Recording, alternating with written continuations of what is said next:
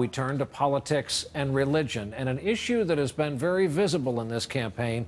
There's a little known organization in Washington with a worldwide reach and enormous and sometimes surprising political connections. Our report on this tonight from NBC's Andrea Mitchell. The President of the United States and the First Lady. The National Prayer Breakfast.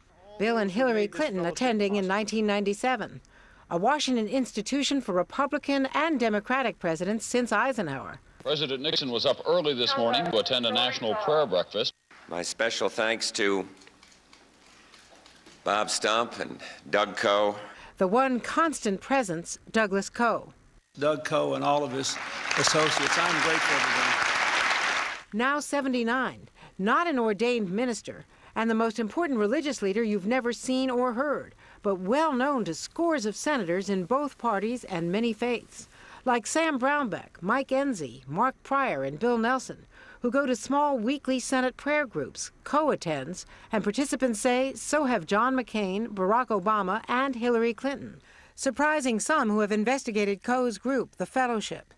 Uh, I think in part through her involvement with the Fellowship's prayer group, she was able to meet a lot of these conservative Republican senators, get to know them on a one-on-one basis. In her autobiography, Clinton describes Coe as a genuinely loving spiritual mentor and guide to many, who became a source of strength and friendship during her White House years starting with a prayer lunch at Coe's Virginia retreat in 1993. He came to her West Wing office and introduced her to business leaders outside the White House. Who is Doug Coe? Here he is on videotapes obtained exclusively by NBC News with his account of atrocities under Chairman Mao. I've seen pictures of the young men in the Red Guard. They would bring in this young man's mother. He would take an axe and cut her head off they have to put the purposes of the Red Guard ahead of their father, mother, brother, sister, and their own life. That was a covenant, a pledge. That's what Jesus said. In his preaching, he repeatedly urges a personal commitment to Jesus. Commitment compares to the blind devotion Hitler demanded, a rhetorical technique that draws sharp criticism. Hitler, Goebbels, and Himmler were three men Think of the immense power these three men had. These nobodies from nowhere. Jeff Sharlet lived among Coe's followers six years ago and came out troubled by their secrecy and rhetoric. We were being taught the leadership lessons of Hitler, Lenin, and Mao. And I'd say, aren't, aren't, isn't there a problem with that? And they would even seem perplexed by the question.